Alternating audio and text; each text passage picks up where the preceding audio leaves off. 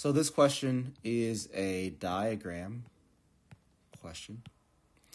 Any question that provides some visual input, I'm going to call a diagram question, which just means my eyes go to that visual information first before reading the actual question. So let's check this table out. So the first column here is number of employees.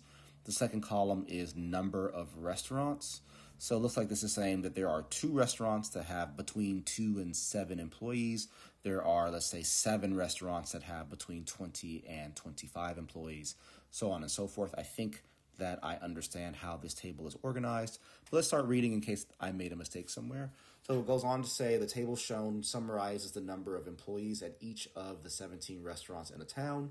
Um, we continue on with the question by saying or reading which of the following could be the median number of employees for the restaurants in this town. So says could be, right? So that's a very interesting statement. So a median is just like a middle number. If we were to list out every number of employees across all 17 restaurants, and then we figured out what number, and we made sure those numbers were ordered from, you know, in ascending order, let's say, or descending order, wouldn't really matter. We'd be looking for the middle number there. Now, the issue that I'm seeing is that each of these number of restaurants have a range of potential number of employees, right? So, for instance, if I look at the first row, I know that there are two restaurants, but I'm not sure if there are two employees at both restaurants, three employees, seven employees, five employees. I know there's not less than two, and I know there's not more than seven. And this is probably where this idea of like could be comes from, right? Um, okay, so I am probably going to need to do this a little bit differently than I usually do median number questions. Let's say I look at this in terms of range. So I'm going to say I have between two to seven for two of my restaurants, eight to 13 for four of my restaurants.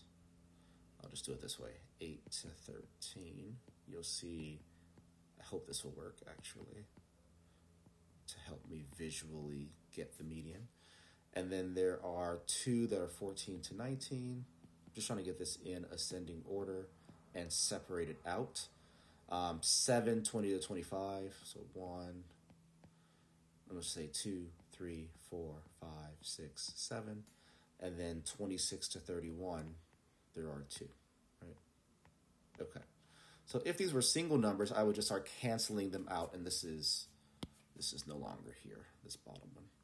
I just start canceling from the end, so that cancel out the smallest value with the largest value, right? So in essence, I'm saying I don't really care what the value was in here because it's going to cross out with whatever the value was in here. So it doesn't really matter actually what it was.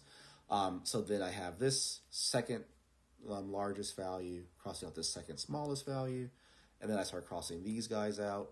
So that's gone, that's gone, that's gone, that's gone, here, that's gone, here, that's gone. Okay, so that means the middle number has to be from this restaurant that has between 20 and 25 employees, and therefore the answer must be choice D, right? It's the only answer choice that has a value that's between 20 and 25.